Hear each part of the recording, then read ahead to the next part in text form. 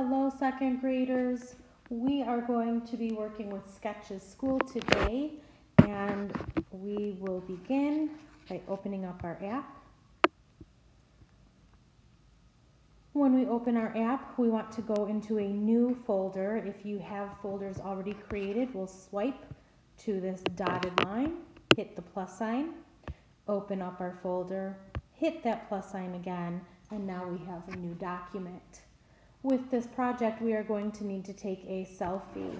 So we're going to come up top to these three dots.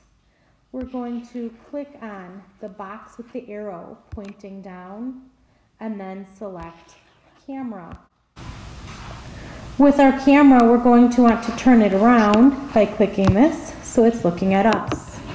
When you take your picture, you want to make sure that you have a blank background behind you that is going to be helpful in this project. So let me get my selfie.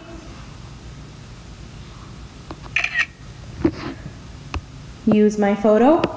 Now with two fingers, I'm going to drag and fill my space. And then I want to come down in here and I want to lock that picture in place. From here, we're going to design our bad hair day using lines. So we watched our line video and we learned about all of the different types of lines and styles and movements. We're going to use those to create a bad hair day picture for ourselves. You can use any tool you like. I prefer this one here. Again, it's your choice. Down on the bottom, we can select our colors. I'll start with red to begin. And we're just going to use the different line types that we learned in that video and we're going to start to create some crazy hair coming off of our heads. I can change my colors as I move along. I can change my line types.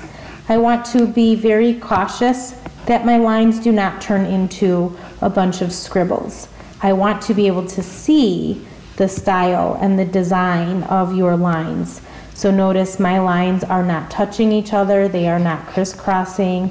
I am taking my time, I am working very controlled so that I can see what those lines are that I am drawing or when you get ready that you have drawn. I'm doing groups of three. You don't have to do groups of three. Again, it is yours. You can design them how you like.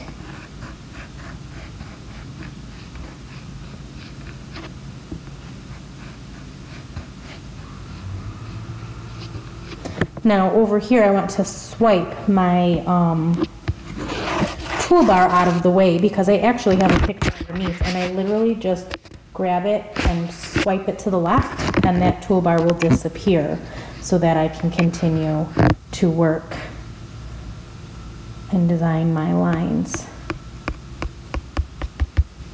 Some dotted lines.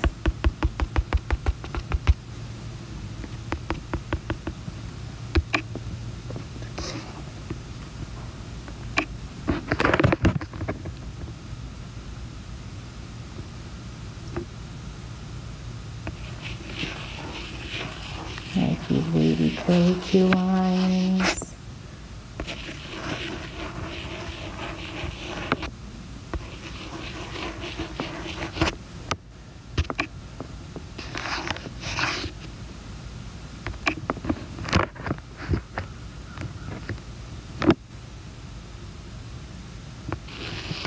And the simplest of all, straight lines. All right, when you are happy with your hair and you have shown all different line styles and you think you look like you have a crazy hair day happening in your picture, you're going to come up here to your three dots, click on them. This time we're going to use our, our box with the arrow pointing up and this is going to let us pull this out and we can save it as a picture. So we will click on Save Image. And then when I open up my photos, you can see that that picture is there in my recents in my albums. This is important because you are going to turn these in in Seesaw for me.